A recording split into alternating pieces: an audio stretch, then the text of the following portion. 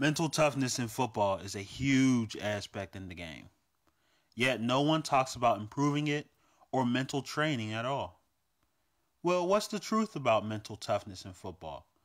How can we really improve it? Yeah, how? What's up, YouTube? It's Scotty Sports Performance with another YouTube video for today.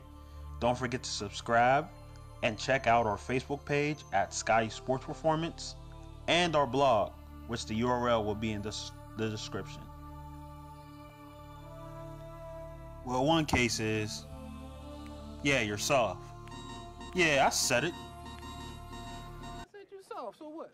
What you gonna do? What? Don't no man call me soft. I hate that, all right? Wait, wait, I said soft, so what? I said I spell it.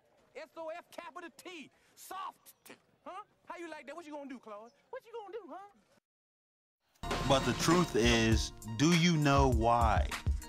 You aren't soft because you haven't had a tough upbringing or because you don't look physically imposing. Not being soft has nothing to do with any of that. It has everything to do with your mind. Which leads to my next point. Learning how to control your mind is by far the most important part of mental toughness in football.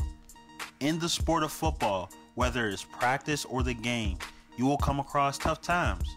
Most players are aware of that and are in full controls of themselves in the game, but it's different to live it. It's very easy to fall victim to the things around you.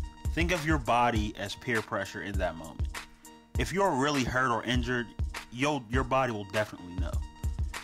You have to be able to understand that you are in control. In most instances, if you need to quit the moment it gets tough, you'll never get to where you need to be. A trick to mastering your mind in a tough time in football is to know why you are playing. If you are playing just to have fun, know that in the moment of things are getting tough in the game, you, this can literally help you become a better player and that the biggest ballers come out to play when times get tough. If you're trying to play on the next level, pushing yourself through now and bettering yourself will better prepare you for the next level because there will be tougher moments then as well. Whatever you find a purpose in doing in what you're doing, you have to use these tough times as an advantage.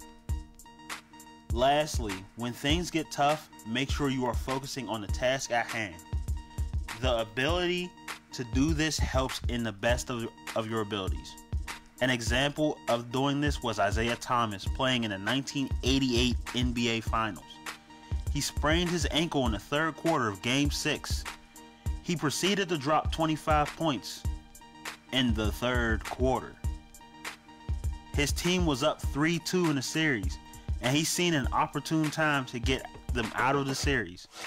Being able to focus on the task at hand and understand that nothing or no one is going to stop you from achieving that task is very important, especially in sports. Don't forget to subscribe to our YouTube channel and check out our Facebook page at Scotty Sports Performance.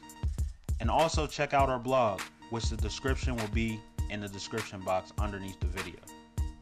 But also, please, can you comment, comment, like, and also share your thoughts under under the video. We would like to have more different ideas and hear what you guys have to say about the video. But until then, peace.